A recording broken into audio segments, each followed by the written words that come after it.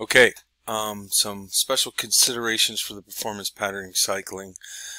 Um, where to start your pattern cycle? Let's say, for example, if you're a quad dominant athlete, okay, so what happens here is even if uh, you cycle through this and you start at a quad dominant athlete with a uh, back squat, what you'll find is um, that first repetition does uh, they adapt fairly quickly and they will adapt in a negative way to that particular exercise. So what I've done is I've been able to identify my athletes um, through RPR and a, a, series of other methods. If they're quad dominant, I actually may start them at a different exercise like reverse hyper to help them start there and then when they get to this there's less negative effects of their um, their adaptability to that quad dominant pattern. So this starting them here offsets that particular um, adaptation neurological, which is instant. So um, some of the team starts here, some of the team starts here, and some of the team starts here, um, based upon their individual needs. But if if it didn't matter, they would all start at the same place. It, it wouldn't really matter.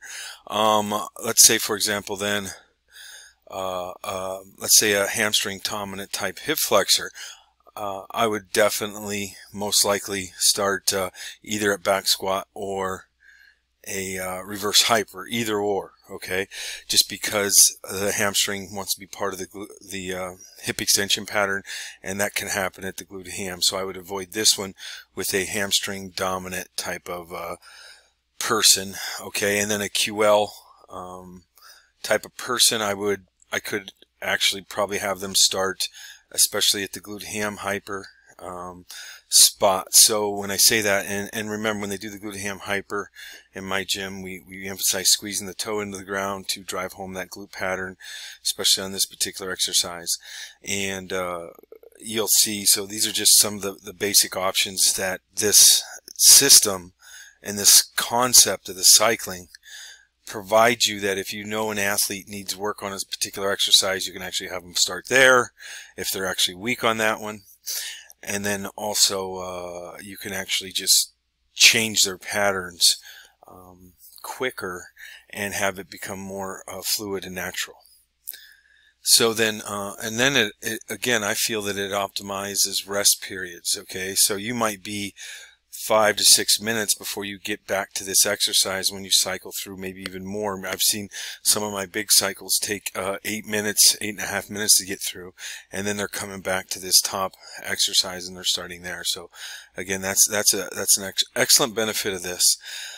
Um, and again, you'll just see more positive effects and transfer to athletic movements, um, basically because there's less fatigue causing a detriment to the other exercises. So again, um, back squat doesn't fatigue out the reverse hyper or the glute ham, especially when you're doing um, a transferability exercise. And when I say that, I'm going to release that next month. So um, transfer uh, complex is basically we're talking about taking a glute ham and having it transfer into an athletic movement fairly quickly through a series of complexes that created one of my COVID things that uh, that I was able to come up with, and I will produce a video on that to the group in um, most likely the next three to four weeks. But again, this transfer for the sporting movement is much more optimal than doing it this way. I think you, we can all start to agree to that. And then again, as I talked about, better flow to the weight room. I'm able to. It just seems like I you can actually have less equipment and do more complex um, pattern cycling stuff because not everybody is uh, always starting at the same spot, and not everybody is is basically uh, waiting for these three exercises. So there's not as much backups per se in your weight room if you don't have the amount of equipment that I have or other people have. Um, and then let's say just just to that um, schematics or um, the uh, the workflow of your weight room.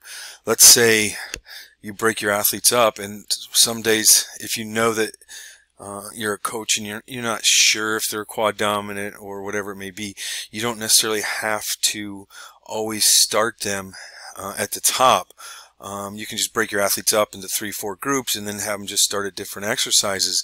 And that might be just good enough to help them cycle through things. So if, uh, if they have some dominance in one area uh, that they're not supposed to, um, you're essentially only starting there one day a week or once every other week. So it's not going to be that big of a deal. But these are all the benefits of this type of performance pattern cycling. And I think uh, uh, coaches will find this pretty effective. And please, on our Facebook group, let us know any questions you have, and I'll get to those and answer those.